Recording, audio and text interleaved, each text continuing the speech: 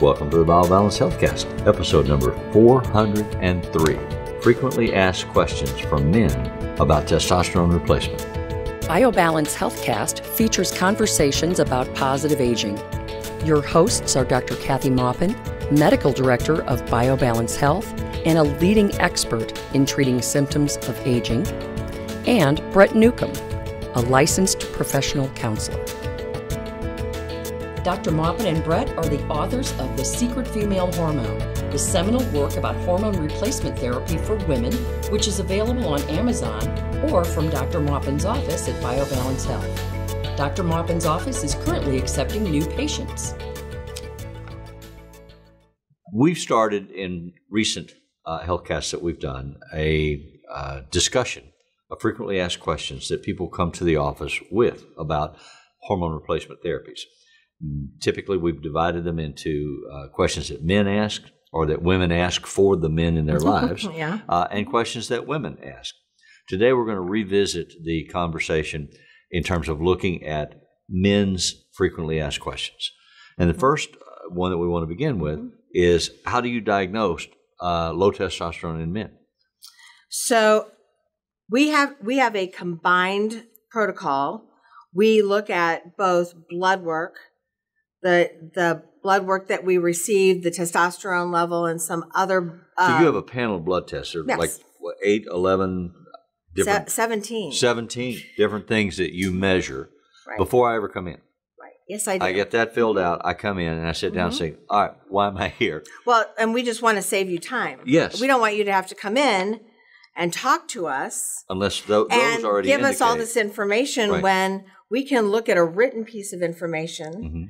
and your blood work and then have you come in and know all that about you and treat you the same day. We, we're, we're skipping an appointment and hopefully saving you money.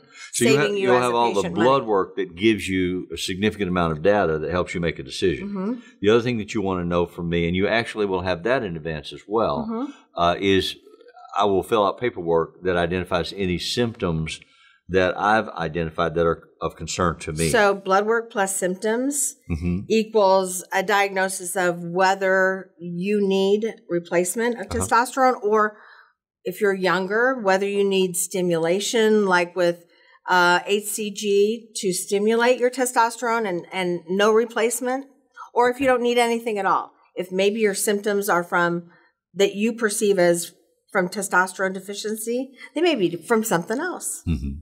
So so we can see that ahead of time, and we're prepared for uh, a course of action by the time you sit in front of me. Well, and that's interesting because sometimes the something else involves a referral to another physician for Mm-hmm. a treatment of a different issue. Mhm. And a lot of times that's identified in the 17 different blood panels that you have tested. Mhm. Yes, and and we're looking at general health, Mhm. And we're looking at all your hormones, hormones from every gland in your body because they all work together.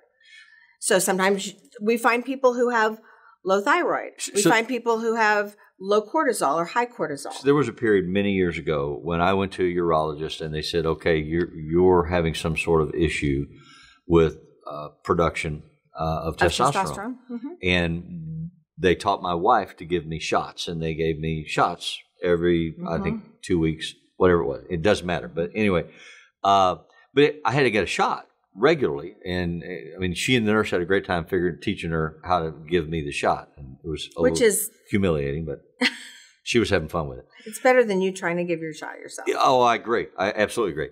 But my question then is, how often would I need pellets? If I'm going to come in and we make the Oh. decision that you need testosterone, I mean, I remember having to take those shots, and I also remember that at the time, like my mood would cycle up and down, Right. which was one of the ways that we knew it was getting close to time. You know, Well, I get all teary or upset We don't use angry. shots. I mean, that's right. not that's not something that we use for multiple reasons. One is it's not bioidentical. It's not exactly like what your body makes, Mhm. and it does have a variation of of your blood level. It goes way up and way down within two weeks, and then you have to get another shot. And so that Right. Uh, makes We you, we track. I mean, conversationally, anecdotally, we track that. So so if you have a shot, you feel good for the first couple, you know, maybe the first week, and then it starts dropping, and then you have to wait and get another shot. Yes. So that isn't really good for your body. Your body needs the same dose every day, and that's what pellets provide. They provide a dose every work? four to six months. So when you get your pellets, your dose, your your blood level goes up and stays essentially the same for five and a half months, and then it starts dropping, and then we redose. When it starts dropping. As it starts to drop, we redose because we don't want to dose you when you're at your highest, Right. because then we're going to get so for the camera we're going to get high high levels of or normal levels of testosterone and then we dose you when you're here it's going to go up and you're going to keep going up you're going to be adding to the dose and and we're trying to get you to a physiologically normal level a level in your blood that both removes your or stops all your symptoms but also is between 400 total testosterone level um, and 1500 So it's not a, a surging uh, stair step. It's more like a bandwidth. It stays within a range. right it goes up starts coming down we redose goes up comes and, and we try to keep you within that range try to keep you within the range of normal healthy men between 20 and 40 So are there ever circumstances where uh, a man might need to get pellets within a four to six month window or, or less than? less than six months Uh huh. Um, we have, yes, that's there. There are men that need to have uh, their testosterone done uh, more frequently. One reason would be if you if you uh, stimulate your blood count and you make too many red blood cells. Okay. So by doing your pellets um, more frequently, we don't have to raise your blood your blood level of testosterone so high. And and it is dose dependent. So when you make a lot of red blood cells, you sludge your blood. So what that does is it kind of it makes it harder for your heart to pump. It makes you have possibly clotting problems because your blood gets very slow as it's uh, going away from the heart, and it's just not healthy. So testosterone in some men makes that uh, makes your blood thick. So we have them give blood, and then we change how often we give their pellets so that we don't get such a surge at the beginning. so how do you would know that? Do you have stimulate a blood. test that measures that, or Yeah, we, we look at well, we look at their um, your blood count, your H and H. okay? We want the H and H to be the hematocrit, which is the percentage of red blood cells, to be less than fifty percent of your total blood volume, and we want your hemoglobin to be less than nineteen. So if you're suspicious that that's what's happening to me, then you just do within that six month window, you do an additional blood test to measure a snapshot of where is your blood with this. Right, and there's some men that have to get their blood drawn several times to get down to normal, Uh-huh. even before they've started their testosterone. Okay. They just have a familial genetic reason to have a high blood count, but we can still give them testosterone. and it's a high red blood count. Yes. Excuse me, high red blood count. So that would be that's called familial erythrocytosis. I'll remember that. Oh, I'm I sure. bet you will. okay, so so that's so that's one of the reasons. Another reason is some men last through their testosterone. They just use it up so fast. Does that have to do with their activity level or their metabolic rate or both? Or I mean, both and their and the number of medications genetics? they're on. ah, So if you're on a, um, many drugs that go through the same enzyme system, the P450 system in your liver, you often will last through your um, all of your your meds and your hormones because it your body is adjusting to all of those medications it has to get through the liver and it speeds up the enzymes. And so you so basically you have to take a higher dose of everything. so the pellets that you put in somebody's hip or flank Mhm. dissolve over time, and as they dissolve, they get put into the blood system. Right. So so the question is what happens to the pellets Yeah. after they're put under the skin? So Right. so pellets are That's a more artfully way to put right. it. So pellets are um they're they're a pressed powder of pure testosterone. Okay. Okay. And so and it's pressed with a uniform pressure, uniform size for a dose. So so the surface area, if you know physics, surface area is the same on every 100 milligram pellet or the same on every 200 milligrams. So Right. it's it's the size that often determines how fast you dissolve it and what your blood level ends up being. Every person's a little different. That's why we have to do individualized treatment. We have to give you a dose that we think is going to be good for you for four or six months. And then we have to retest to make sure it lasted. Right. And, or maybe it could be even too high. So we drop the dose. So there is some element of trial and error in the first two doses. Okay. Right. But what happens is the pellet gets placed in the fat. This, the hormone is fat soluble. So the fat around it dissolves the pellet like licking a lollipop. hmm And that goes into the capillaries, into your bloodstream. And you are which, able which is to, how it gets to the liver to get in. The, what was the? it goes to the liver after you use it. Uh huh. So you use your testosterone, and then as it's circulating, it goes back through the liver. So that's why pellets are actually better. If you have testosterone that is oral, God forbid, or a cream or a gel or something that is going through your skin or or going through your stomach, it Mhm. goes to the liver first. And it makes a lot of estrogen When it goes to the when it liver. goes through the liver. it so converts. and so before you even use it, Right. it's going through your liver. It's called the first pass effect. It goes through your liver and gets broken down into estrogens. Okay. And those are the opposite of testosterone for men. They actually help, they actually make your testosterone level drop. They The bind up your testosterone. Mhm. So you can't use it. So when you use these gels, you get more more testosterone, you feel great for 2 weeks, and then you get more estrogen then you feel bad. So they up your dose. Yeah. Then it then you feel good for 2 weeks, bad for 2 weeks. And then So you have those surges. eventually you give up because you're taking 10 times the dose or 6 times the dose and you're only feeling good half the month. So if I if I come in and I get pellets inserted and I get off of the shots or the creams or whatever, Mm-hmm. I don't get the surges. I get a consistent flow.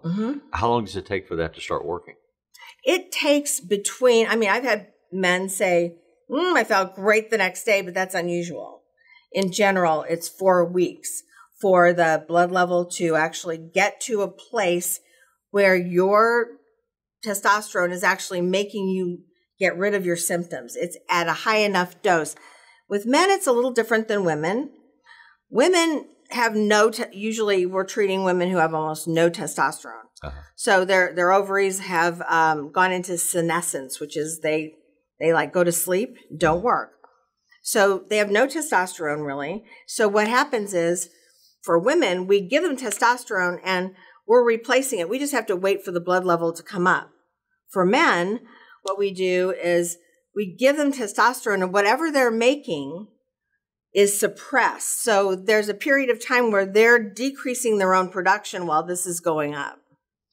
So that's a little different. Mhm. Sometimes people will feel in the first couple of weeks a little worse before they feel better as their own blood level comes down. Yeah. Does that make sense? I, I think so. To me, it does Mhm. because I, I work with a lot of patients who've taken antidepressants, Mm-hmm. and years ago, with, when the SSRIs were new, Mm-hmm. they they would tell us, warn the patient that it'll be 11 to 15 days before they feel an effect of it. Right. It has to For- build up the it has to level. build up in the bloodstream, and Mhm. and your explanation is the way I understood that explanation. It's the same process. And what's different with a pill, say you took a pill of anything, it, it has what's called a half life. The time it takes for half of it to get out of your system. Mhm. So the half life will probably usually be the dosing schedule. In other words, if you dose it every 12 hours, that's how long it takes for half of it to get out of your system because we don't want to keep building up a level of medication you take every day. Right. So basically it goes up and down every day. So so that's what's happening with a pill, but this is different. This is like what your body used to do, what your testicles used to make. It's, it's a natural reservoir. right. It's an on-demand system. Right. As your body needs it, because it tracks that bandwidth, Mhm. and as it starts to fall low in the bandwidth, it's, it says send it, some more. it dissolves. It's not quite as good as what God did for us. Right. because that that system between our pituitary and testicles was an amazing system but this is almost we're almost there and if you exercise a lot Mhm. you use up more testosterone. So we ask you a lot of crazy questions like how much do you exercise and how much how long do you sleep every night and things like that because that affects the dose that we give you. And it seems like that's not relevant, but it is relevant because we're trying to figure out a dose that's perfect for you so that it will last 6 months so that all your symptoms go away. Then you will feel more like you used So to you when you were 30. You don't only look at the symptomology they present with and the blood test. You you look at their lifestyle. I have to. Because if you don't if you don't have a physician that asks you those questions, then your dose isn't going to be the, be right. Right. You have to know that about your patient. It's very individualized. This is not a, you know, send size 40, 40 Yeah. people in through through you know your office and give them a shot and send them out. Right. This is I have to know what that person does, what they do for a living, how much they I mean, if they sit all day, What their stress they- levels are. Mm-hmm. What yeah, their stress. If if your cortisol goes up because you're stressed all the time, then you're going to need more testosterone. Right. If you have, um, if you work nights, then your diurnal schedule for your cortisol is off, and you're going to need more testosterone. If you are a man and you're five seven and you're very thin, then I decrease dose. If you're over six two and you are weigh over 250, I have to increase dose. So you have all these little formulas in your so head. Plus I have one, minus one, plus. exactly like Yeah. that. I mean, that's how that's how it feels. It's like okay, so we got we go up, we come down, we go up, we go like you a know, card counter in Las Vegas. Know, and that's that's what it's like. It takes a lot of experience to be able to figure out what dose each person person should have. And I'm not right every time. Even after 16 years, I'm still not right because they always fool they they can fool me. Their metabolism of their liver may have been activated because at some point they had liver disease, some hepatitis, they're now over, or they had fatty liver and now they're thin. And I mean, things that I wouldn't necessarily ask them and they wouldn't know if I did. That, exactly. They 'Cause I was wouldn't know say, the answer. A number of men are not self-aware about how their body responds to things in the way that women are self-aware. We've been right. trained not to be. Oh, ignore that. You know, just Well, suck that's it true, up. and that's not on. fair for us to do to boys. Well, but, it, but it's reality. It and is. Mm-hmm. when men come in, my age men who've been raised with those those protocols come in, and you you ask me, well, have you ever had this? Have you ever suffered that? I look at you and say, you have to ask my wife because I don't know. well, there's a thing on your um, iPhone, Yeah. which is your medical history. Yes. Yes. Your medical history has a little heart on it, Mm-hmm. and if you don't know your own medical history, have your wife fill it out. Yeah.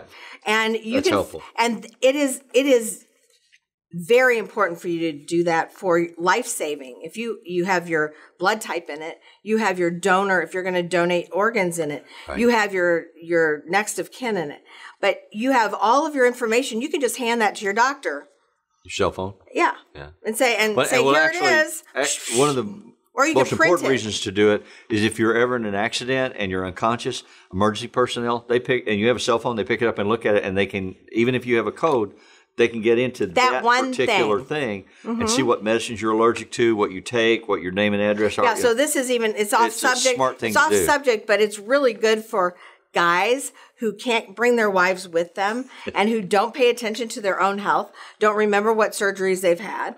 And then Yeah. and if their wife can't come, then they have this information right there for whatever doctor they're seeing. So It is helpful. It is helpful, but I'd rather have their wives come because then they, you know, they tell me if they snore, if they have obstructive, you know, s- obstructive sleep apnea, which could be affecting their sleep, and it may not be testosterone. Yeah. You know, low testosterone affects your sleep. It makes you not sleep well. You wake up tired, and but so does so does So do uh, sleep apnea. Yeah. Sleep apnea. So I have to sort those out.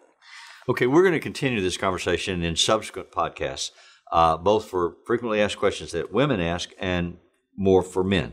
So uh, hopefully that you find these to be informational and you'll come back and listen to the next ones. As always, thank you for listening. Thank you. Email your questions or comments to podcast at biobalancehealth.com. You can find the BioBalance Healthcast on iTunes and on YouTube. For more information about bioidentical hormone pellet therapy and other reverse aging solutions, visit biobalancehealth.com or call 314 993 0963. You can find Dr. Maupin on Twitter at Dr. Kathy Maupin and on Facebook at facebook.com slash biobalancehealth. Find Brett Newcomb at brettnewcomb.com.